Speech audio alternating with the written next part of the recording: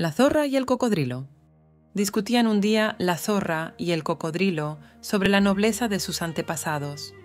Por largo rato habló el cocodrilo acerca de la alcurnia de sus ancestros y terminó por decir que sus padres habían llegado a ser los guardianes del gimnasio. No es necesario que me lo digas, replicó la zorra. Las cualidades de tu piel demuestran muy bien que desde hace muchos años te dedicas a los ejercicios de gimnasia. Moraleja. Recuerda siempre que lo que bien se ve no se puede ocultar con la mentira. La zorra y la pantera. Disputaban otro día la zorra y la pantera acerca de su belleza.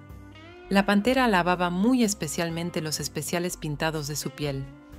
Replicó entonces la zorra diciendo, Mucho más hermosa me considero yo, no por las apariencias de mi cuerpo, sino más bien por mi espíritu. Moraleja. Las cualidades del espíritu son preferibles a las del cuerpo. La zorra y el mono coronado rey.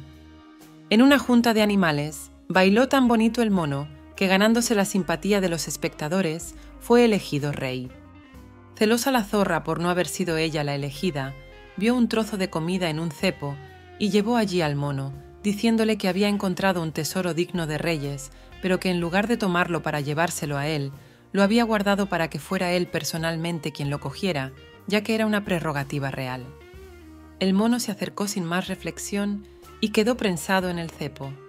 Entonces la zorra, a quien el mono acusaba de tenderle aquella trampa, repuso, Eres muy tonto, mono, y todavía pretendes reinar entre todos los animales. Moraleja, no te lances a una empresa si antes no has reflexionado sobre sus posibles éxitos o peligros.